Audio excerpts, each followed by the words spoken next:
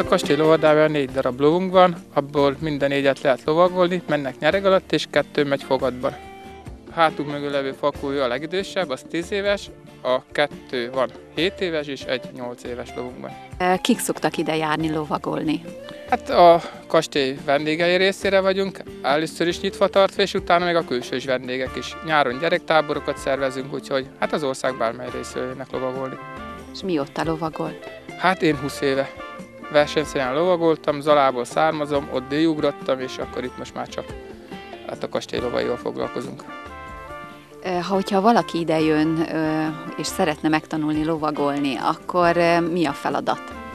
Hát az első oktatás ugye az futószáron történik, hát ugye alapvetően, hogyha az első a ló megismerése, aztán az ápolása a lóval történő munka, és utána jön a lovaglás, és akkor az futószáron történik, és amikor már elér egy bizonyos szintet, akkor ugye jön az egyedülő lovaglás itt benn Karámban, és akkor, amikor már azon a szinten is túlléptünk, akkor mehetünk ki terepre, hát ugye az adja a sova borsát igazából a lovaglásnak.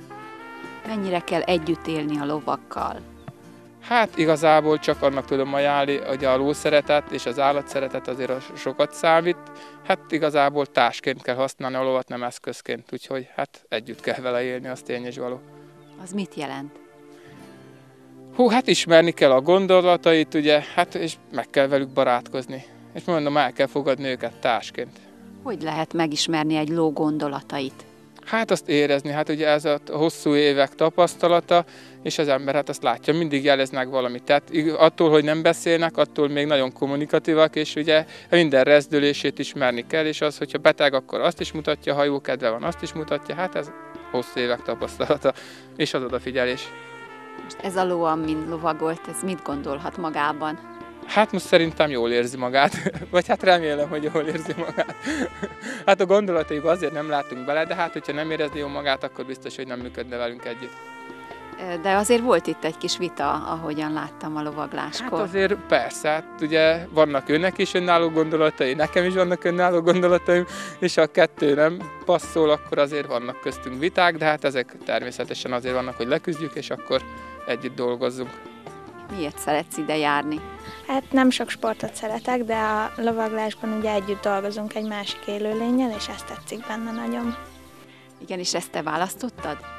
Hát én régen féltem a lovaktól, de aztán egyszer fölültem, és akkor megtetszett. És most például mit csinálsz itt? Hát mm, segítek megápolni őket, meg így a lovak körüli munkákban, meg délután fogunk lovagolni, segítek befogni a hintó elé őket, és ilyesmi. És most már nem félsz tőlük? Hát most már nem. Azért előfordul, de nem. És tanultál lovagolni itt komolyan? Hát még, még tart a tanulás, tehát még nem értem a végére, még elég sok mindent nem tudok, de haladok. És rendszeresen jársz ide? Hát amikor van időm iskola után, hétvégén és a szünetekben. És szoktál részt venni a gyerektáborokban is? Igen, ott is mindig segítek a gyerekeknek mindent megmutatni, meg segítek akkor is nagyon sokat. Időm nincs is lovagolni, mert a gyerekek lefoglalják a lovat, de segítek.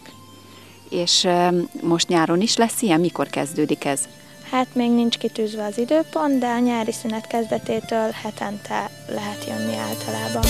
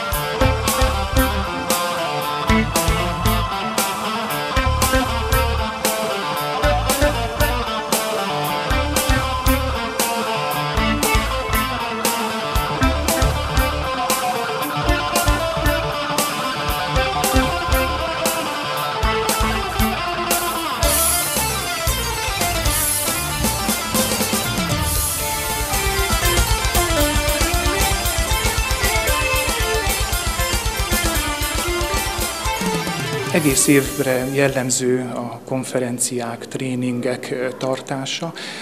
Ezen kívül a nyári időszakban nagyon sok esküvőt szervezünk, tehát egy 60-80 fő befogadására alkalmas a kastély, gyönyörű díszteremmel, gyönyörű parkkal, és hát nagyon-nagyon finom, ízletes konyhával, amit ajánlhatok minden kedves érdeklődőnek.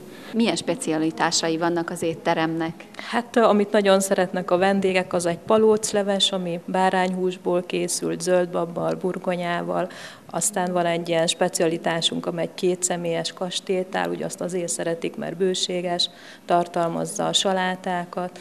És látom az étlapon a dödöllét, ez micsoda?